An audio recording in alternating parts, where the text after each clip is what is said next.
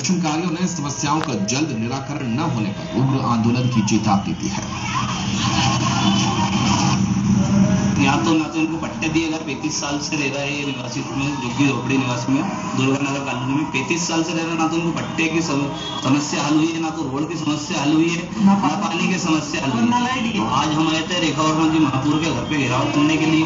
महापौर जी आए हैं उन्होंने थोड़ी हमें समझाइश दी है कि जो जो मेरा हाथ में हो रहा वो मैं करवा सकती हूँ। बाकी उनके हाथ में भी जो है आज तक वो भी काम नहीं हुआ। अरे वो चार सौ मकान है वहाँ पे। और तीस वर्षों से हम रह रहे हैं दुर्गा नगर में।